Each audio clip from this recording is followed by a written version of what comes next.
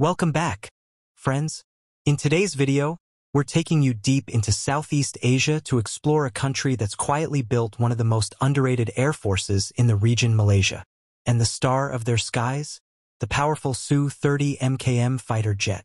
Malaysia might not be the loudest voice when it comes to global military might, but their air force, the Royal Malaysian Air Force, is no joke. In fact, it's one of the most capable in the region, and a lot of that credit goes to the Su-30 MKM. This jet is a customized version of Russia's Su-30, tailored specifically for Malaysia's needs. It's fast, deadly, and incredibly versatile, capable of reaching speeds over 2,100 kilometers per hour and flying nearly 3,000 kilometers without refueling. It's the kind of aircraft that can take on both defensive and offensive missions with ease. What sets the Su-30 MKM apart from others is its thrust vectoring technology. That means this jet can twist and turn in the sky in ways few others can. In a dogfight, this agility is a serious advantage. The jet is also armed with a powerful radar system, guided missiles, laser bombs, and electronic warfare capabilities, a perfect multi-role fighter. Malaysia received its fleet of 18 Su-30 MKMs from Russia starting in 2007.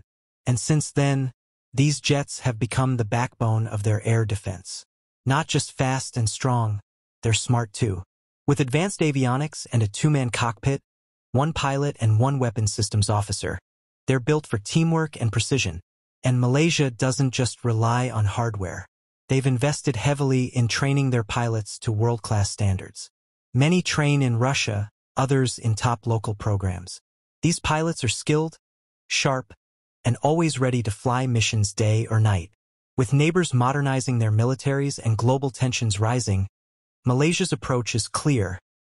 They're not aggressive, but they're always ready. The Su-30 MKM is not just a machine. It's a symbol. It says, we want peace, but we're fully prepared to defend our skies. So next time you think about powerful air forces in Asia, don't forget to count Malaysia in. Quiet power, but serious power.